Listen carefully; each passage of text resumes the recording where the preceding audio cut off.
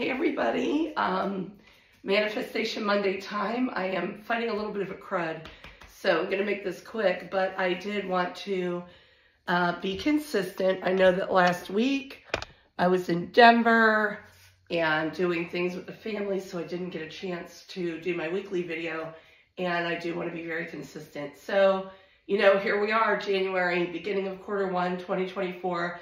I don't know about you, but I feel really excited, really good about this year. And I feel like we're going to have a great year in real estate. We're going to have a great year as investors. And it's important to take a little time and carve out some time right now for goal setting and real, true strategic planning. So um, last year, to hold myself more accountable, I invested in this amazing planner. I know I shared this early in the year. Um, believe it or not, I did um, go all the way through October. Maybe November, I kind of have to admit that I kind of slacked on this piece. Um, didn't update it as frequently um, and checking it like I was supposed to. However, for the 10 and a half months I did use it, it was very, very good. It was very effective in helping me reflect on what went well and what didn't go well the month before, the quarter before, all of that. And now I'm going to use it when I open up my new one. I'm going to skim through this a little bit and I'm going to look at the overarching goals from 2023, the ones that were met and achieved, and what steps did I put into place to achieve those? What additional steps am I putting into place now and plan on putting into place going forward to um, even take that to the next level. Also going to analyze the ones that didn't get met and really kind of, you know, take ownership of those and the things that I could have done better and more efficiently and effectively to make sure that they were met. Um, also making sure that I didn't leave them behind unfulfilled when uh, when setting the new ones. It's important to carry them over. If they're an important goal and you didn't reach it, take it with you and add it to you know your next month, your next quarter. Or when you analyze them and maybe you realize, yeah, I didn't quite reach that, but it's also not that important and intricate to my business, to my life.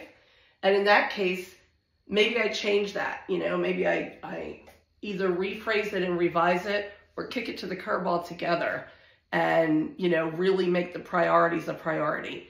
So I think that, you know, manifesting is huge. So when you're goal setting, also take claim to the things that you are going to speak out into the universe and that the universe is going to manifest into your life. And uh, it's not a magic wand, but it is, there's a lot of power in manifestation. And I think that a lot of us struggled through 2023. It was definitely a hard year if you're in the real estate business. And the reason we survived is because we refused to buckle. We refused to just lay down and take a beating.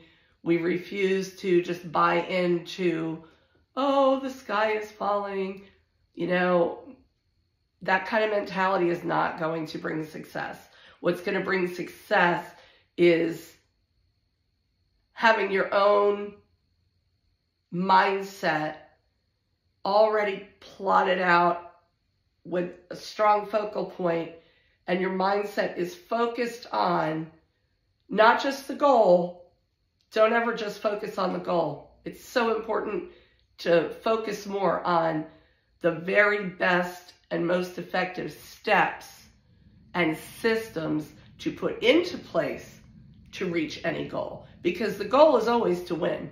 Whatever your goal is, your goal is to win. So goals are fun and goals are important and they're great, but they're not the most important thing in your business or your life. They're not. What's really important are the steps and systems that help you attain that goal. And if those steps and systems are not where they need to be and they're not fine tuned, then you're not going to reach the goals at their full potential that's a fact. So I would encourage you, if you haven't already, pick up a book like The Power of One More by Ed Mylett. Pick up the book Traction. There's lots of other ones out there. But accountability is more than just a planner and goal setting. It's also carving out specific time and holding yourself to it. You have to schedule yourself professional reading time in your week every week. Because if you don't, guess what? You won't do it. Whether it's your Audible, your headphones, you know, and maybe slap your pair of beats on your head and listen to your book while you're doing your workouts or while you're driving in the car or both. If that's the only time you have for getting that reading in. Because the way we grow is by learning from other mentors and other people that have designs and have put things into place and are sharing them with us. And we need to take advantage of that. So you have to schedule that time. You even have to schedule time for scheduling. I know that sounds crazy, but you have to have a particular time every week during this time. I'm going to open up my planner. I'm going to review my goals. I'm going to take a look at anything that I've left undone or let fall by the wayside.